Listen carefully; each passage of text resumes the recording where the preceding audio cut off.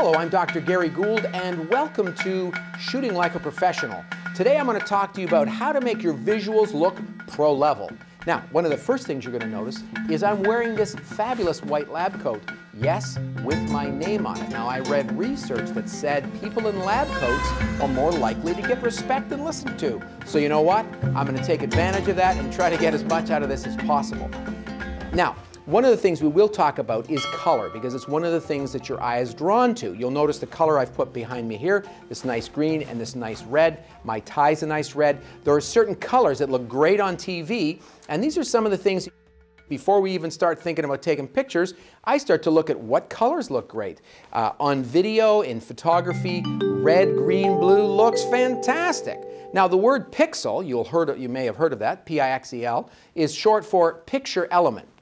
And a picture element are the things that make up the screen that you're watching me on right now. And those are a cluster of three colors, red, green, and blue. So those three colors, red, green, and blue, look terrific uh, on the screen. And you'll know that from your uh, screensaver on your MacBook, on your PC. Typically it's a nice blue because it looks really good with those monitors. So when I'm starting to look for pictures, I'm going to look for some colors that I know will look great on TV. Now this white is really hard to shoot and it's what we call a low intensity color, whereas these colors in the background is a high intensity color. You'll notice that the combination of the low intensity color, like my shirt, uh, and the high intensity color, like my tie in the background, make for a pretty interesting photograph.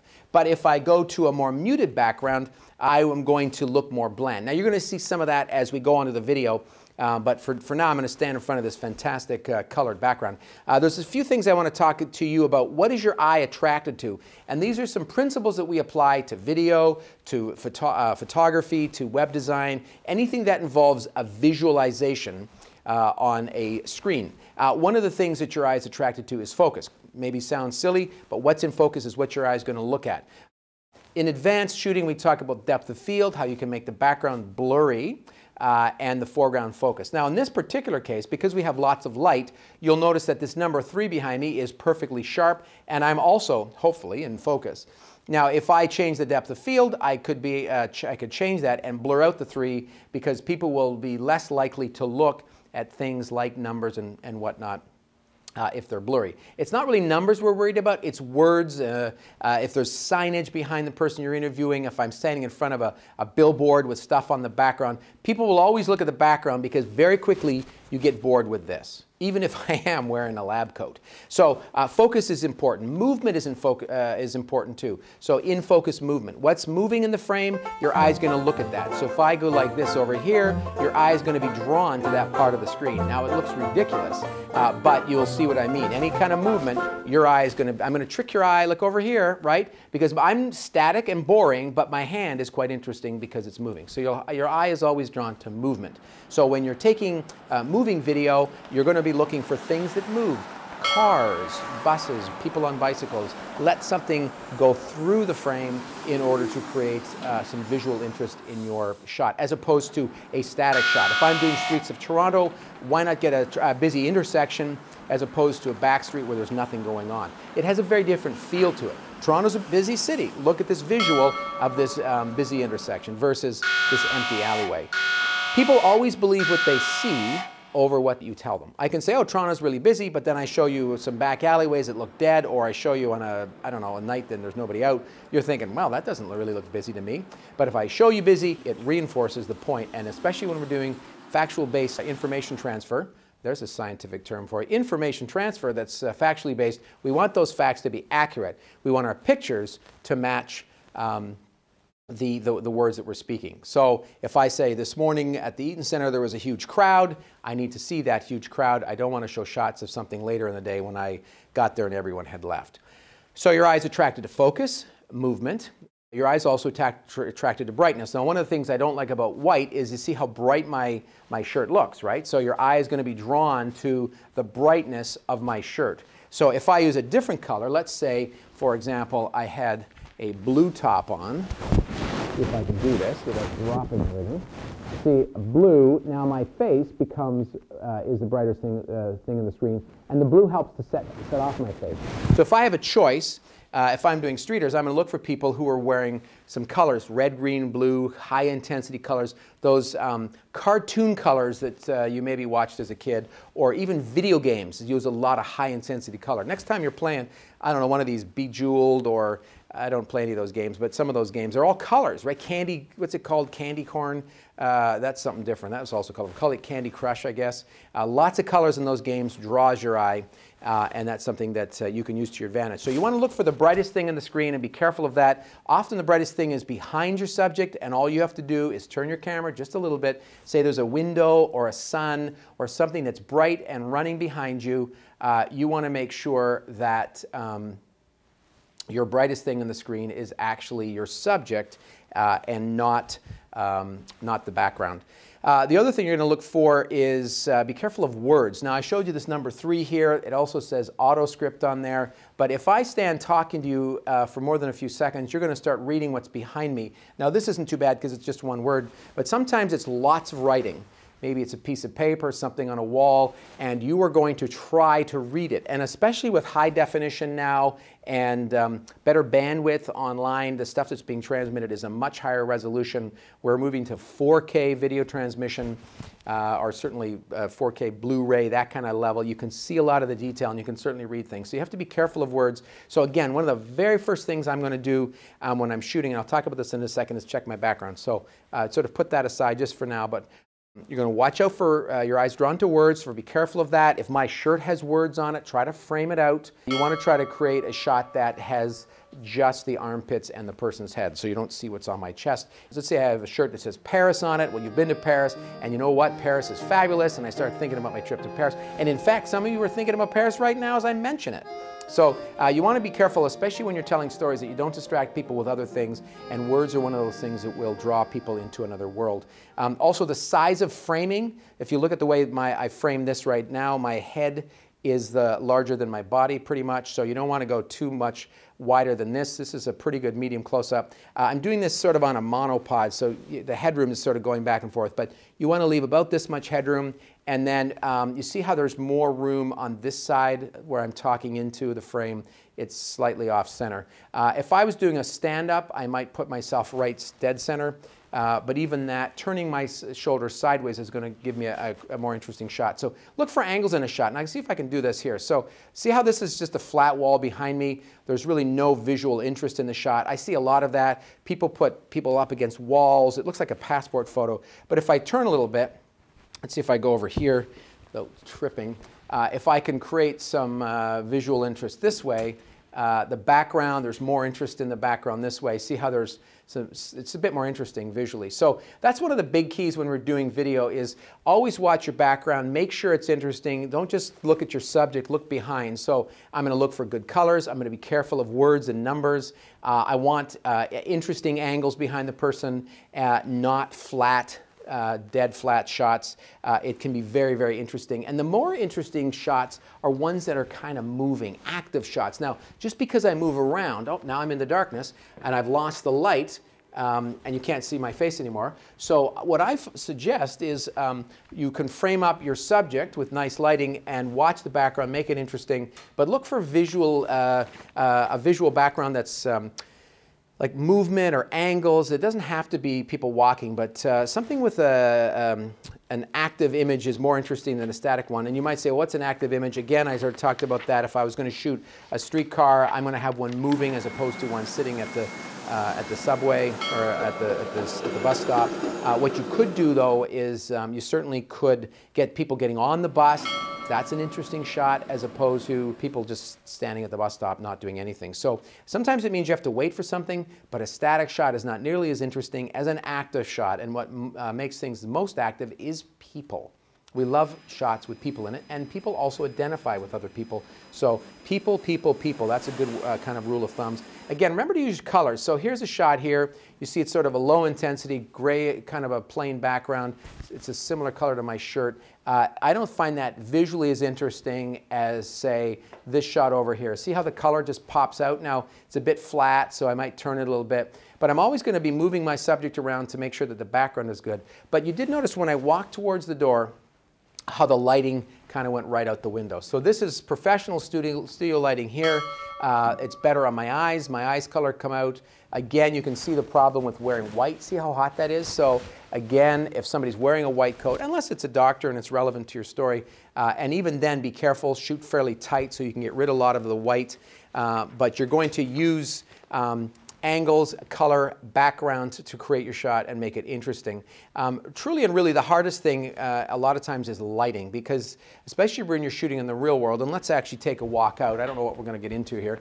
Maybe somebody thinking I'm a bit of a nut, but um, as we get into the real world here, you're going to notice as we leave the studio that the light changes. See how my face, uh, it's almost ghostly now because the light here on my face is bouncing off the floor, so it's kind of scary looking. Let's go out here now and see. Okay, so now we're in the hallway, and you'll see as I walk, different light pools appear. So being straight under a light creates a lot of shadow under my chin. Now really what you, you really need is some kind of a reflector to, to put under the person's chin. And better than that would be a, some kind of a video light. Now I know that that's not always the case, but you just look at where's my light source and where am I going to best place the person. So if I'm using fluorescent lighting, if I stand right under the light, which is what you got here, you're going to get a dark shadow. See the shadowing under my eyes? See my eyes all, all dark and raccoon-like? But if I stand between the, the two lights, let's see if I can do this. So now there's a fluorescent light on this side of me and this side, and I'm right in the middle of them. I'm getting light from both sides, and it's not so bad. And you know, you can actually even, okay, let's, let's find a poster that's, okay, here's a poster from October so I can use this one. But now I can use a white reflector. Is that doing anything? Right? If you had a big enough piece, you see how it reflects the light. So I can often use a reflector to uh, pick up on the light. And it doesn't even have to be anything fancy. It can just be a piece of white uh, board uh, to reflect the light. So um, lighting is really, really tough, especially when you're in a situation where you have what you have and you think, oh, well, it looks fine to me. It might look fine to your eyes, but on camera, certain things can be very dark and you can see again here, if your eye's attracted to the brightest thing in the screen, the, the, brightest thing in that screen is not my face, it's this floor behind me. And again, I'm wearing white, so it should be very, very reflective. So be very careful of the background. Um, we want to, uh, with our lighting, there's two different kinds of light. There's hard light and then there's soft light.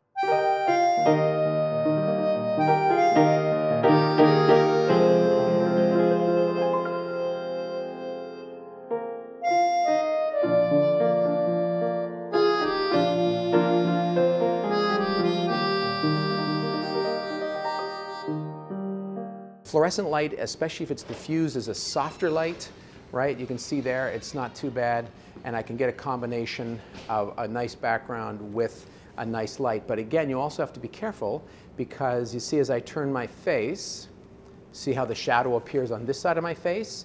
You want to make sure that the light is on the person's face. Well, now I got a problem because I got pretty good lighting on my face here, but behind me is this plain gray horrible background. So you want to find a balance when you're shooting your stuff to make sure you have a nice background and watch for light. Look for places that are more interesting visually. Now remember I talked about an active background? So I know that I can come out under the bridge here. And people, by the way, if you say, do you mind just walking over here? I'm going to get a better shot if I put you over here. So let's say something like this. See how soft the background is? Again, the lighting is a bit tough.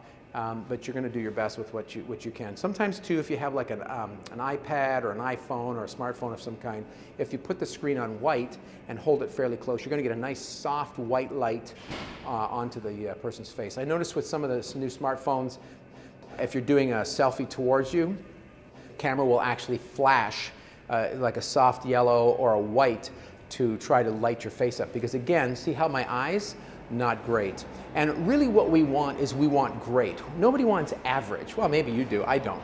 We don't want average, we want awesome. We don't want fine, we want fabulous. So we're always, always, always looking for fabulous. So I can play with the background here, see the nice angle in the background. Maybe I'm a scientist, you bring me out here, but again, you have to be careful of the light. Now, if I was doing photography, I would use a flash. And one of the things you can do with a flash, because a flash typically is um, is just a really bright light, and especially if you're using, say, a smartphone light. So here's the light here.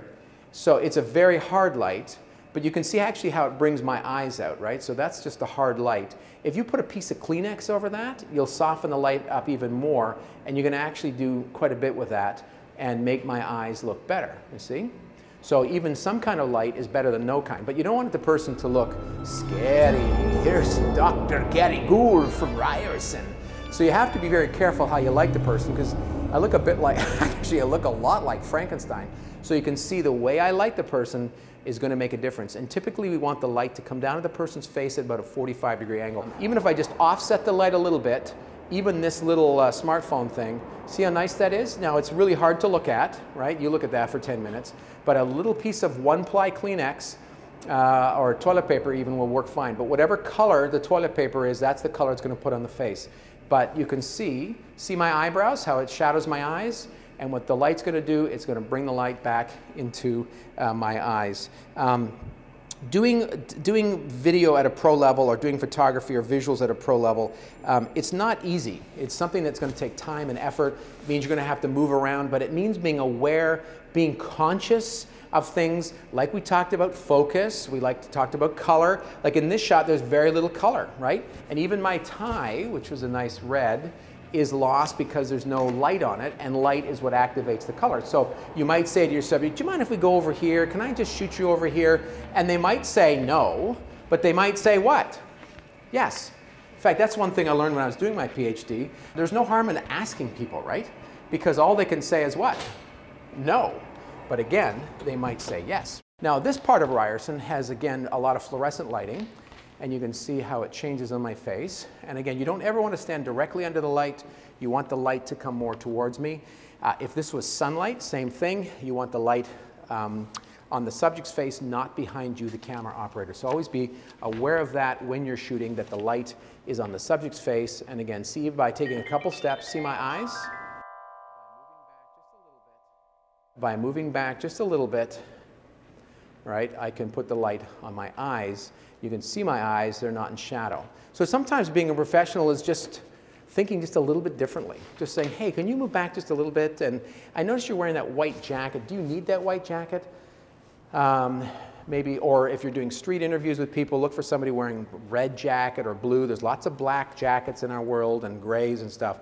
But why not make it easy for yourself? So part of doing uh, an interview with somebody is just taking care to put them in the right spot and make sure that the lighting is in the right spot. So again, there's two types of lighting, hard direct lighting, which creates lots of shadows, and soft diffuse lighting. The fluorescent light tends to be a bit more diffused, although you can still see some shadowing on my shoulder. Natural light uh, outside on a sunny day is a hard direct light. That's very hard to work with. But on an overcast day, say wintertime, it's perfect because it's a nice, soft, diffuse light that's coming in onto your subject's face.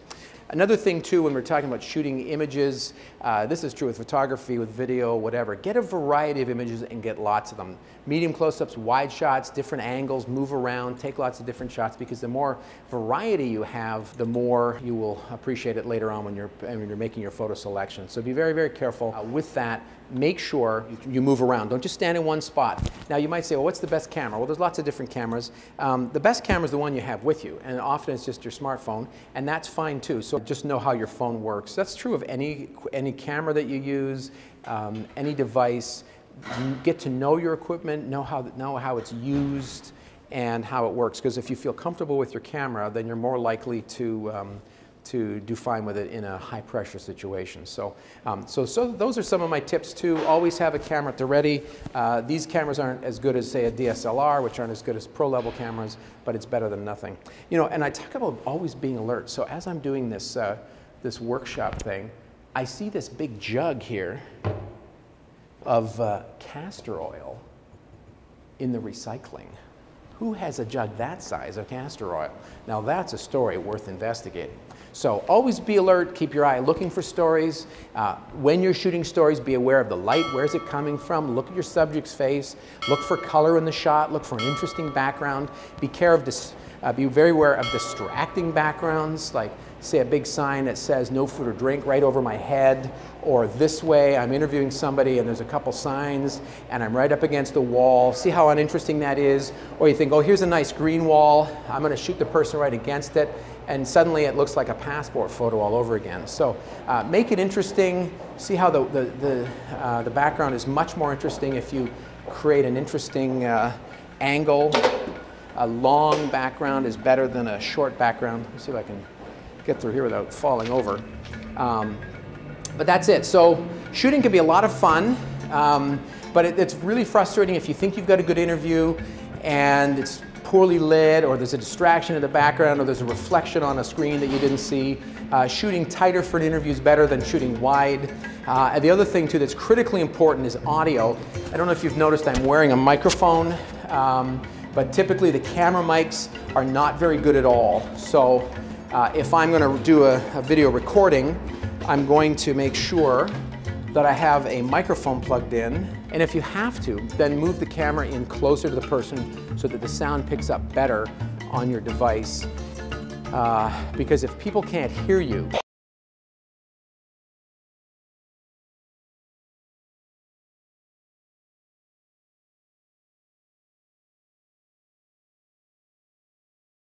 How many of you just checked your headphones? You think, oh no, there's something wrong with the, the feed. It's, it's broken, the sound is gone. Well, actually, there's nothing wrong with the feed. I just stopped talking. But if you have bad sound and people can't hear you, that's a problem.